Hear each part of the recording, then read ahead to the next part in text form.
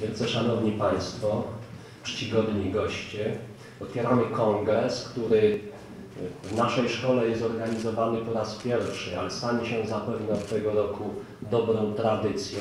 Kongres humanistów, kongres nauczycieli z różnych szkół, którzy, mówiąc najbardziej ogólnie, wykładają przedmioty humanistyczne. Mamy dzisiaj, przypomnę, 13 maja 2015 roku. E, Więc czas teraz, myślę, już e, poprosić pana profesora Franciszka Ziejkę o wykład inauguracyjny. Serdecznie zapraszamy pana profesora.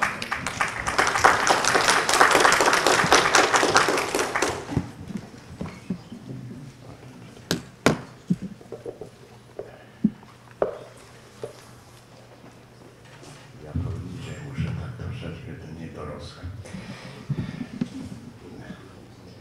Dzień dobry Państwu, Szanowni Państwo.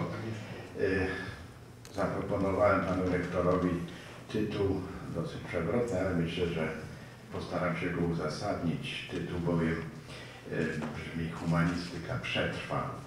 Y, Kilka uwag w związku z tak zwanym kryzysem humanistyki.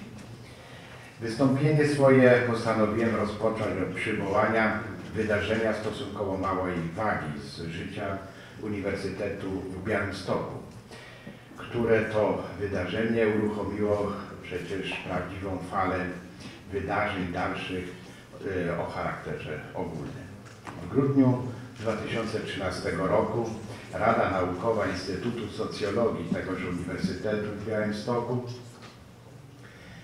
zdecydowała o zamknięciu, począwszy od y, jesieni 2015 roku, naboru na pierwszy rok studiów filozoficznych na Uniwersytecie. Y, Rada stwierdziła, że jest to kierunek, jak wyrażono się, nierentowny, bowiem na trzech latach studiów y, filozoficznych, y, licencjackich studiowało w tym czasie zaledwie 62 osoby. Decyzję socjologów e, w styczniu 2014 roku poparła Rada Wydziału Historyczno-Filozoficznego Uniwersytetu. Podobnych decyzji o zamknięciu bądź otwarciu naboru na jakiś kierunek studiów senaty polskich uczelni podejmują corocznie bardzo dużo. W tym wypadku jednak wiadomość o likwidacji filozofii w Białymstoku padła na grunt wyjątkowo podatny. Od dłuższego czasu bowiem w kołach uniwersyteckich, a także skupionych wokół Instytutu Badań Literackich Polskiej Akademii Nauk toczyły się coraz gorętsze dyskusje na temat przyszłości humanistyki. Już w pierwszych latach naszego XXI wieku Instytut Badań Literackich zorganizował kilka sesji poświęconych roli humanistyki polskiej we współczesnym świecie, która była traktowana od dłuższego czasu po macoszemu przez władze resortowe jako tak zwana dziedzina peryferyjna. W tej sytuacji informacja o decyzji władz Uniwersytetu w Białymstoku o likwidacji naboru na studia filozoficzne, które wszak były i nadal są traktowane za esencję humanistyki, stała się przysłowiowym kamykiem, który uruchomił y, przysłowiową lawinę. Najpierw w internecie pojawił się protest około 100 uczonych w obronie filozofii na Uniwersytecie w Białymstoku. Wkrótce potem powstał społeczny ruch na rzecz ochrony, obrony filozofii w Uniwersytecie w Białymstoku, do którego zgłosiło akces w ciągu kilku dni blisko tysiąc osób. To był jednak zaledwie sygnał nadciągających dalszych wydarzeń.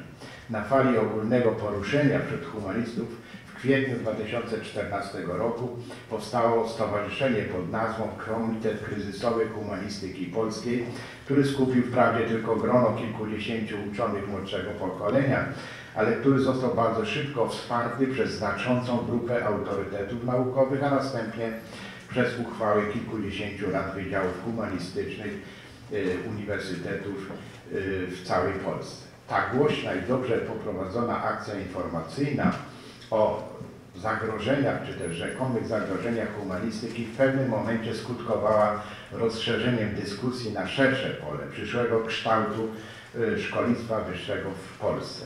Ponieważ akcja ta, w przeciwieństwie do niektórych wcześniejszych inicjatyw wychodzących z tego środowiska, nie posiadała charakteru politycznego, dość szybko wydała owoce, czy to w postaci coraz to nowych organizacji poza- pozarządowych, e, skupiających przede wszystkim młodych uczonych, takich jak Akademia Młodych Uczonych, jak Obywatele Nauki, Stowarzyszenie Top 500 Innovators, Klub Stypendystów Fundacji na Rzecz Nauki Polskiej, czy też w postaci ważnych dokumentów, w postaci listów otwartych do najwyższych władz Rzeczpospolitej w sprawie humanistyki, aż podyskutowany ostatnio szeroko w gronie głównie średniego pokolenia uczonych, tak zwany Pakt dla Nauki.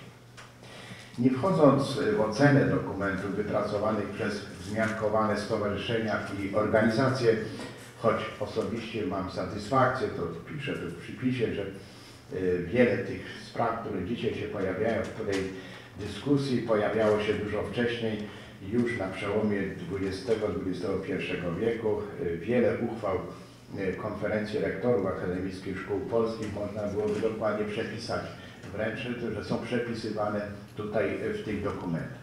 Trzeba jednak z uznaniem odnotować pojawienie się przywoływanego wyżej fermentu w środowisku akademickim, a w szczególności wśród huma- humanistów. To niewątpliwie ważny kapitał społeczny, którego władze resortowe nauki i szkolnictwa wyższego nie powinny zmarnować. Wydaje mi się, że po to, aby lepiej zrozumieć jednak istotę owego fermentu, należy przywołać jego genezę, a ta w moim przekonaniu posiada co najmniej dwojaki charakter. Z jednej strony wiąże się z nieprzemyślanymi zawsze do końca decyzjami resortu nauki i szkolnictwa wyższego sprzed kilku lat, z drugiej z szerszym zjawiskiem, które otrzymało nośną medialnie nazwę owego kryzysu, a które w moim przekonaniu jest zjawiskiem trwałym, wręcz przypisanym tym naukom od początku chyba istnienia humanistyki. Bo wszak humanistyka nie tylko dzisiaj nie przynosi pożytku realnego, nie przynosiła tak rozumianego, jak dzisiaj chcą od niej e, biurokraci ministerialni od czasu swoich narodzin w epoce starożytnej. Proponuję zatem przyjrzeć się kolejno tym przyczynom. A zatem pierwsza sprawa. Wśród wielu niekiedy mocno zaskakujących, ja to w cudzysłowie, innowacyjnych pomysłów pani profesor Barbary Kudryckiej, która przez 6 lat zarządzała Ministerstwem Nauki i Szkolnictwa Wyższego, jednym z najbardziej nieszczęśliwych był przeprowadzony w październiku 2011 roku zapis w nowelizowanej wówczas ustawie o szkolnictwie wyższym w zdecydowany sposób ograniczający możliwość podejmowania przez studentów studiów na drugim kierunku. Kuriozalny ten zapis ograniczał szanse na swobodny rozwój osobowości tych młodych ludzi, którzy chcieliby w czasie studiów poszerzyć swoje kwalifikacje przed podjęciem pracy zawodowej. Przypomnę, że prawo do bezpłatnego na drugim kierunku studiów pozostawiono tylko słuchaczom pobierającym stypendium naukowe rektora. Dodatkowe ograniczenie dotyczyło 10% puli miejsc na danym kierunku dla takich studentów. E, e, uzas- Uzasadnieniem wprowadzenia tego kontrowersyjnego zapisu była rzekoma dbałość władz ministerialnych o dostępność do owych studiów dla osób ze środowisk o tak zwanym niższym kapitale kulturowym. Nie wiem, co to znaczy, ale cytuję.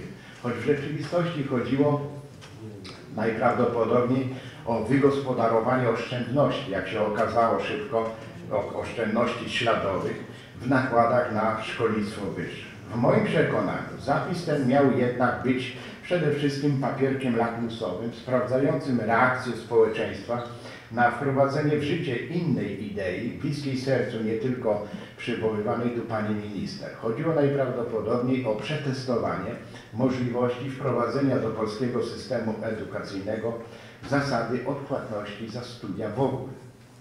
Owszem, w wielu krajach, przede wszystkim w Stanach Zjednoczonych i Anglii, odpłatność taka istnieje.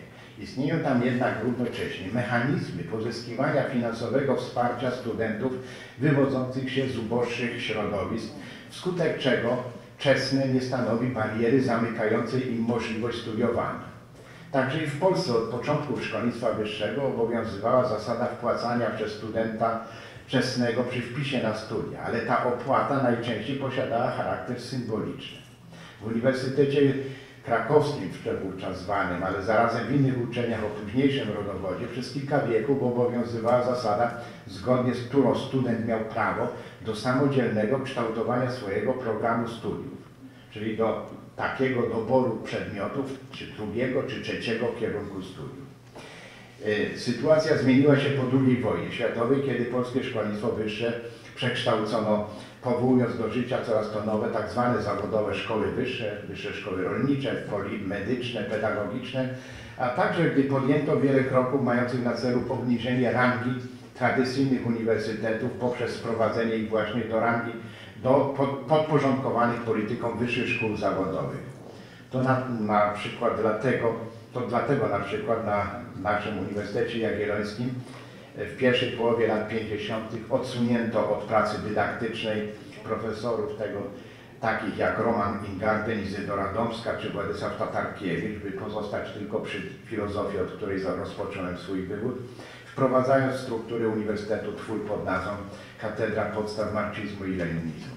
We wszystkich owych przedsięwzięciach chodziło o pełne przejęcie władzy nad autonomicznymi uniwersytetami.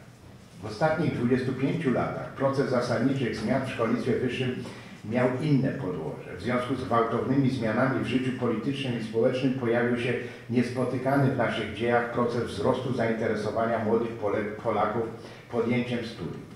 Zgodnie z odwiecznym prawem podaży i popytu pojawiły się w naszym krajobrazie dziesiątki, a z czasem setki uczelni, także i prywatnych, dzięki czemu przeszło czterokrotnie zwiększyła się liczba studentów w Polsce.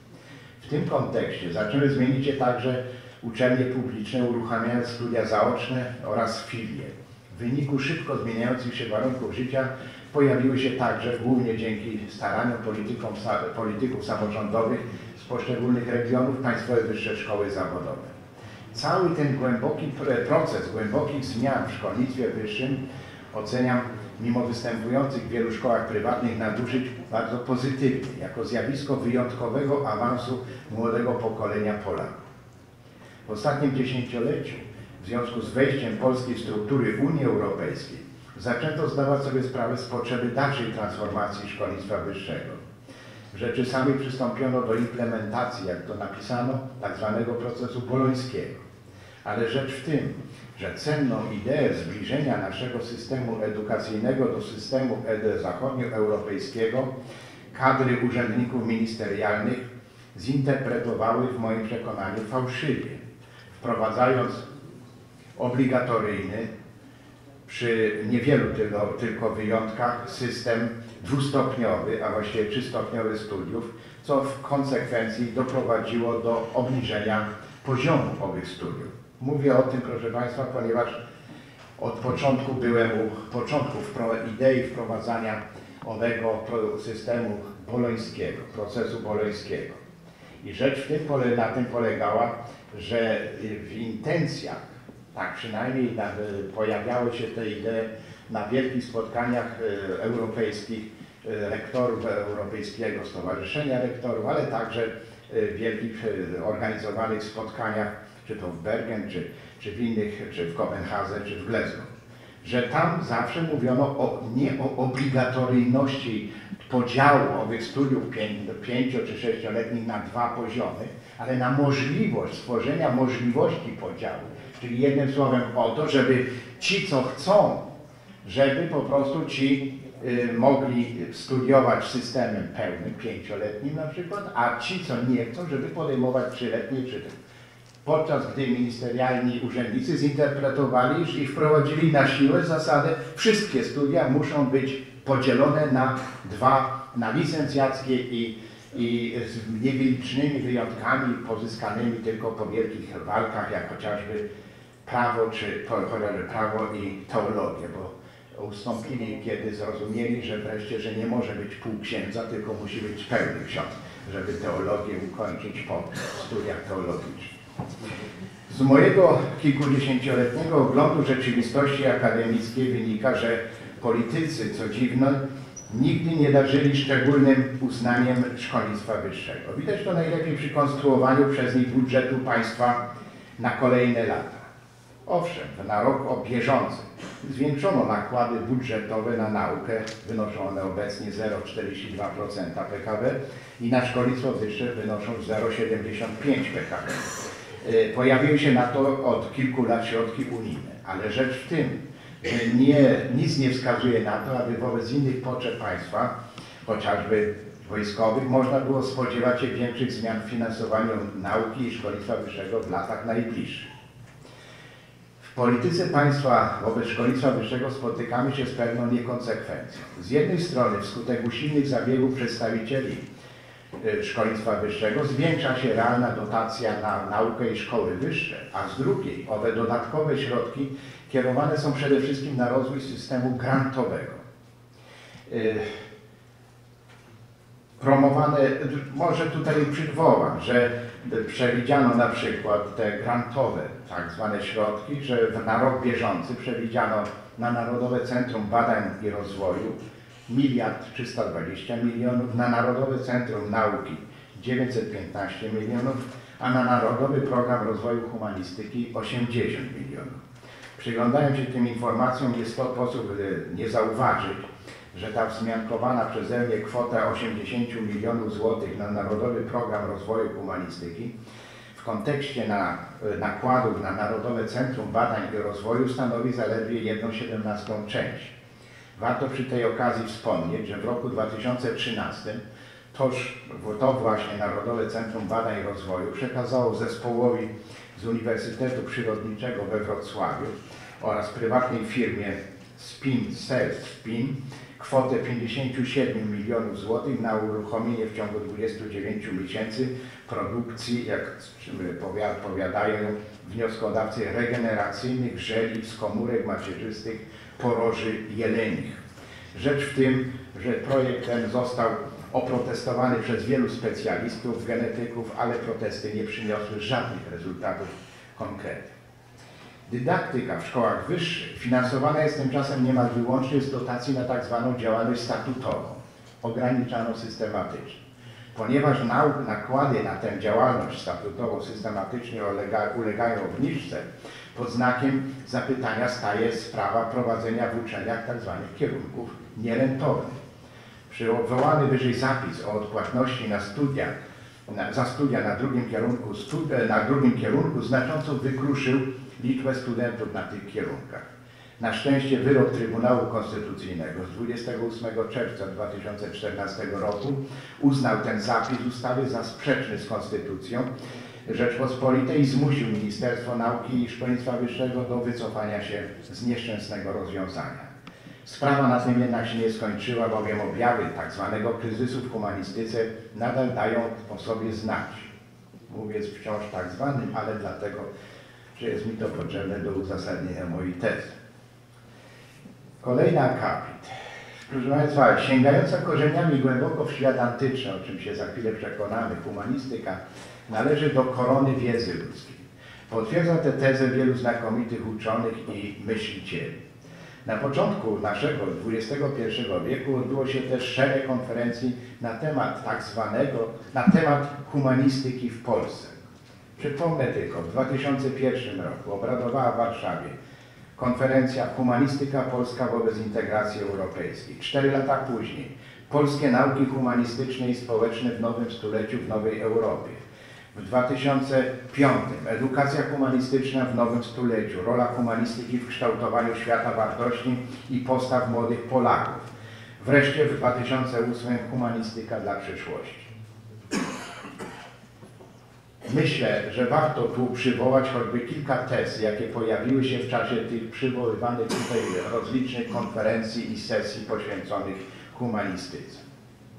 Przywołam w pierwszej kolejności wypowiedź profesora Henryka Kieresia, y, kierującego Katedrą Filozofii Sztuki na Katolickim Uniwersytecie Lubelskim, który pisał niedawno, cytuję.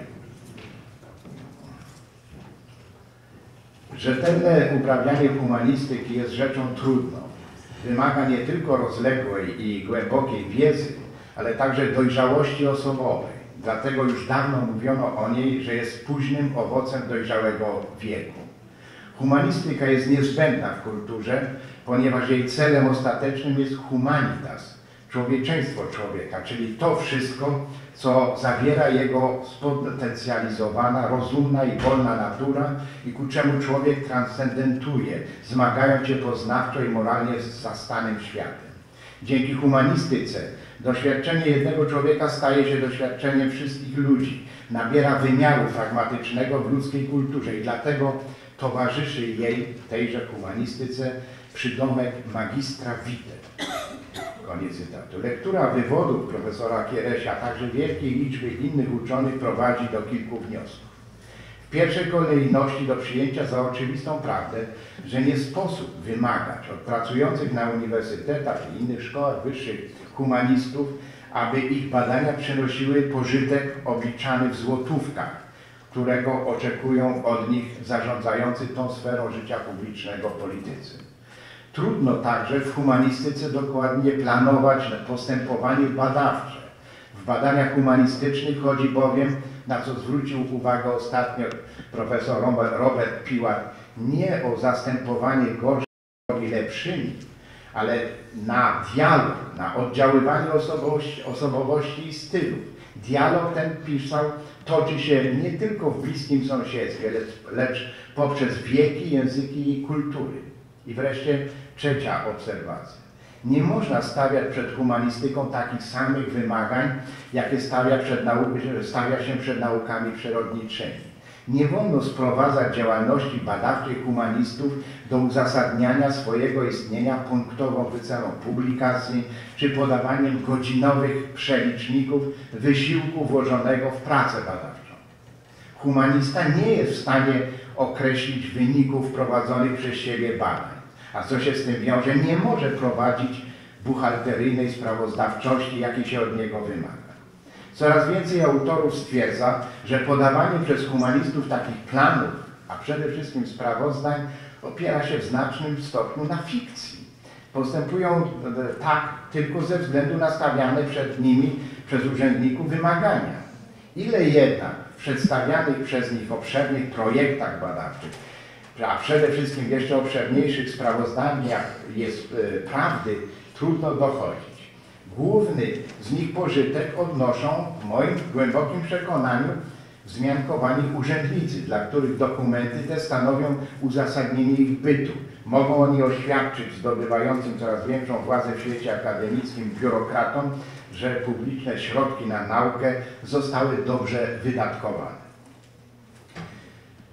Kolejna sprawa. Mówiłem już tu, że wzmiankowana na początku przeze mnie historia bojów o uniwersytecką humanistykę sprowokowana przez błahe w końcu wydarzenie z kronik Uniwersytetu Białostockiego było tylko jednym z etapów pełnego, pewnego procesu, który od dłuższego czasu narasta w naszym środowisku.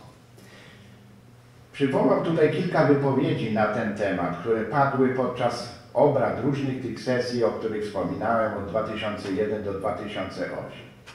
Oto Tomasz Berta, Merta, ówczesny y, z roku 2008 podsekretarz w Ministerstwie Kultury i Dziedzictwa Narodowego mówił, cytuję, wielu osobom humanistyka jawi się raczej jako dziedzina dodatkowa, jako przywilej lub naddatek, coś co może, ale wcale nie musi istnieć.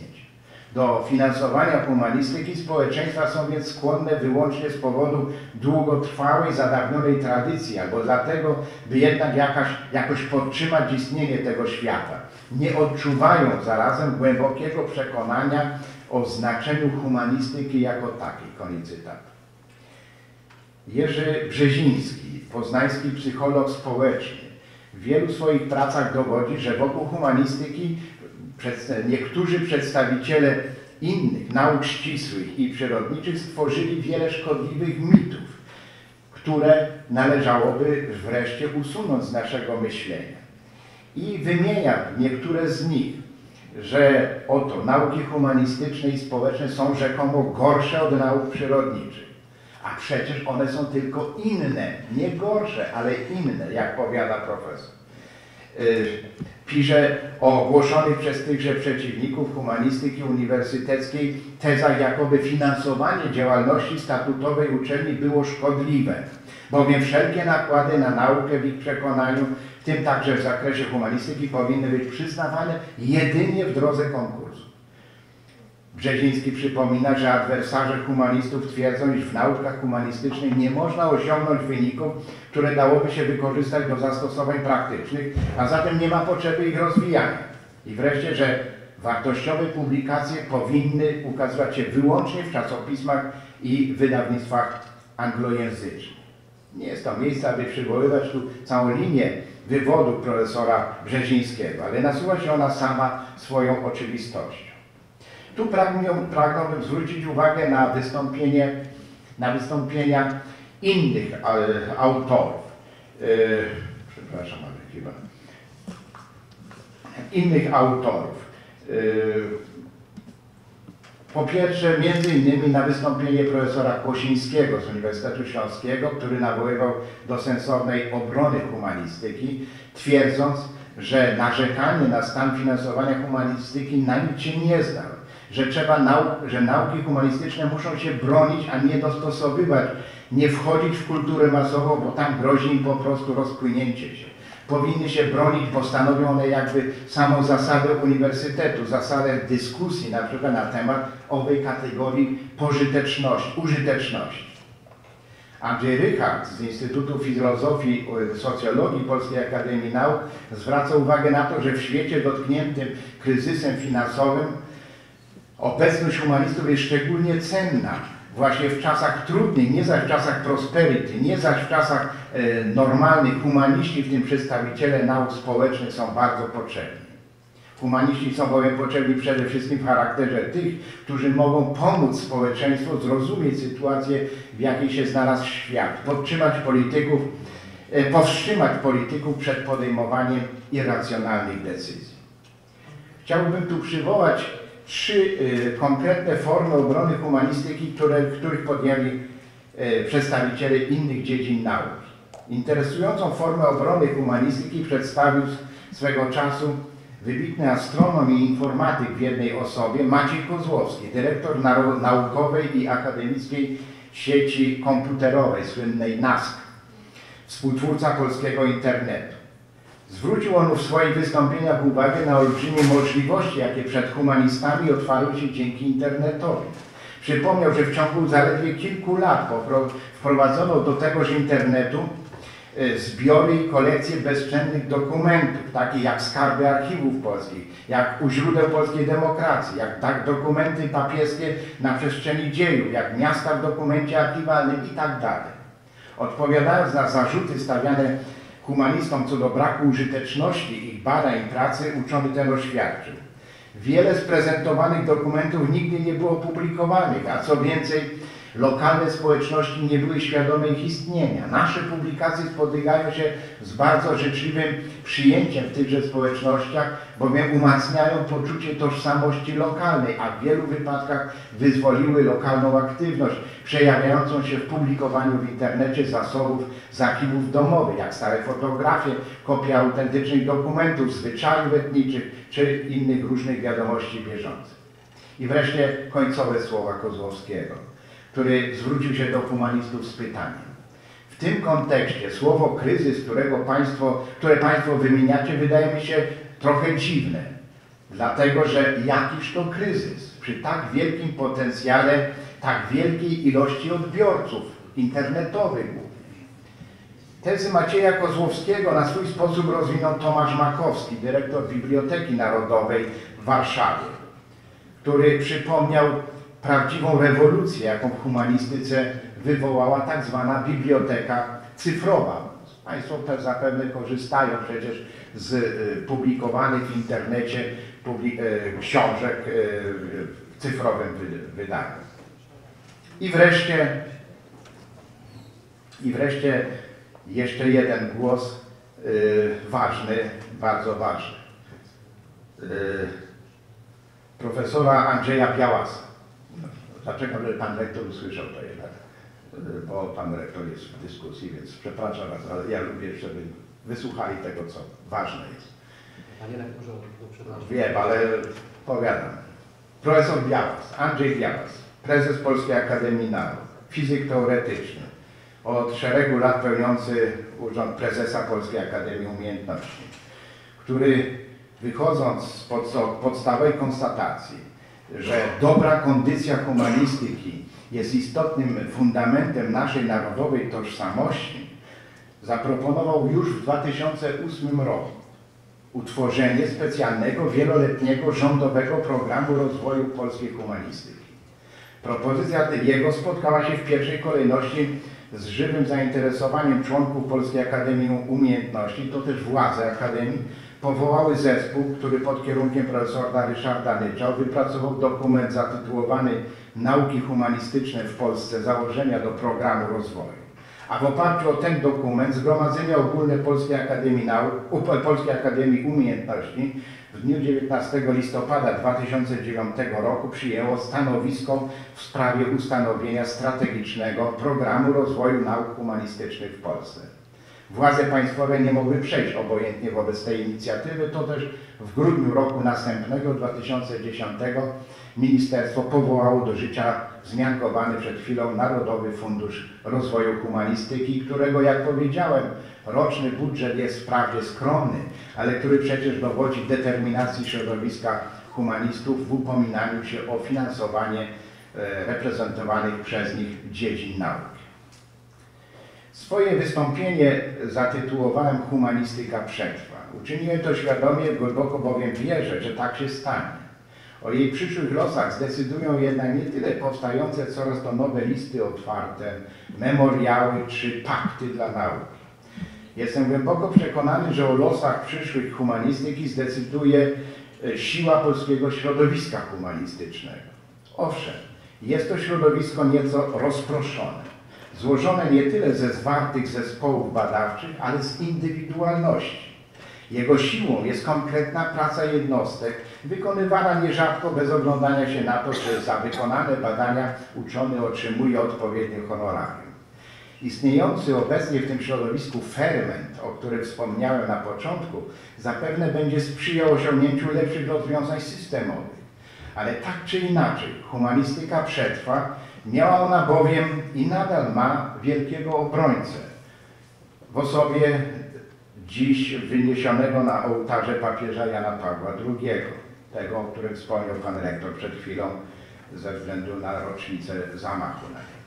I przywołaniem podejmowanych przez niego wysiłków na rzecz rozwoju humanistyki pragnę zamknąć swoje wystąpienie. Karol Wojtyła, Jan Paweł II był jednym z nielicznych papieży uczonych. Był profesorem etyki, filozofem, a także teologiem. Dobrze rozumiał znaczenie humanistyki w życiu społeczeństw. Dlatego z mocą dopominał się o godne dla niej miejsce w świecie akademickim.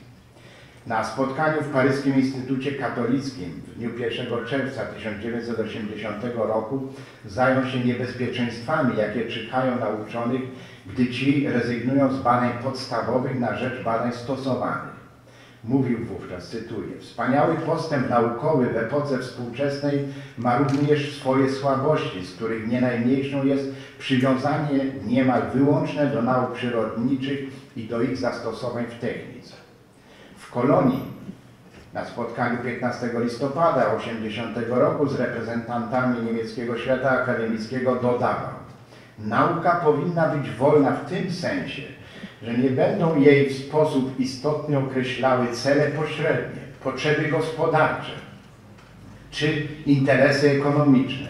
Nie znaczy to, że powinna być w sposób zasadniczy humanistyka oddzielona od praksis. Żeby jednak mogła oddziaływać na praktykę, musi być najpierw określona przez prawdę, a więc otwarta ku prawdzie. I jeszcze jedno przywołanie z 13 grudnia 90 roku ze spotkania z przedstawicielami środowisk uniwersyteckich Rzymu, gdzie Jan Paweł II e, notował.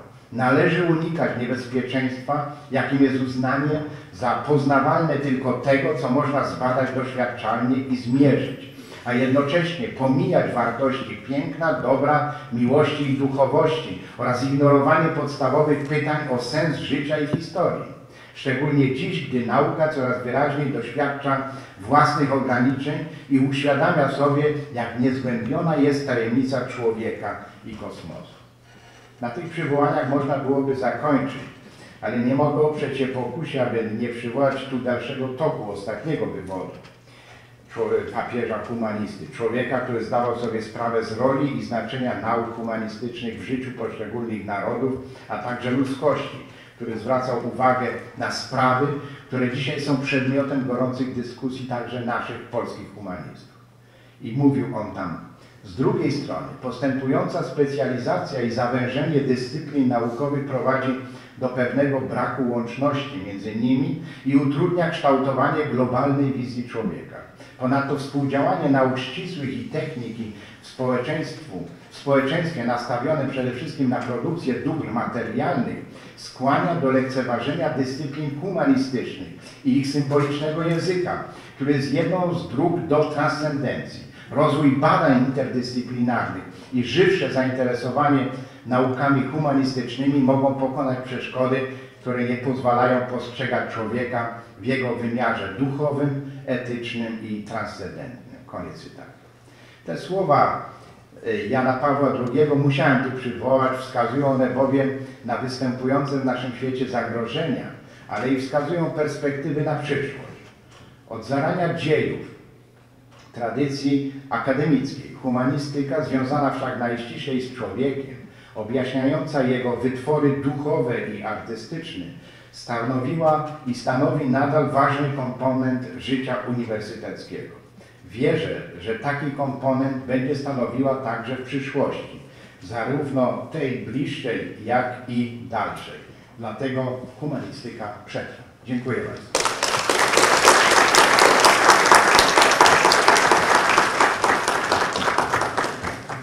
Dziękuję bardzo Panie Rektorze. Wykład, wykład e, profesora Franciszka Ziejki z Uniwersytetu Jagiellońskiego był bardzo optymistyczny i e, może nie zdradzimy tajemnicy Panie Rektorze, że e, zrodził się jako pozytywna odpowiedź na taki tytuł, który ja proponowałem, brzmiał znacznie bardziej pesymistycznie. Chciałbym organizatorom, do doktora Władysława Chłopickiego zwrócić się z taką tezą, którą, Panie Rektorze, przepraszam, że przedwcześnie już przedyskutowałem. Otóż pańskie wystąpienie, w trakcie pańskiego wystąpienia y, przyszła mi do głowy myśl, że y, powinniśmy uwypukllić z, tego naszego y, kongresu ważną tezę, że o przyszłości szkolnictwa wyższego mówią głównie humaniści. Humanista mówi nie tylko o humanistyce, tylko o przyszłości szkolnictwa wyższego, tak jak ono powinno wyglądać. Te tezy formułują głównie humaniści, a jeżeli nie są to z wykształcenia hum- humaniści, to prelegent, który się do nich odwołuje, podkreśla ten fakt. Więc tu bym y, na to chciał zwrócić uwagę i też podkreślić, że te głosy, jakie płyną ze strony Uniwersytetu Jagiellońskiego, który no, trudno ukryć i zgodzimy się z tym i w Krośnie, i w Rzeszowie, na Politechnice i na Uniwersytecie, który jest matką wszystkich uczelni, no, na pewno stawiają y, te problemy w takim świetle, w jakim one powinny być stawiane. Dziękuję bardzo Panie Rektorze.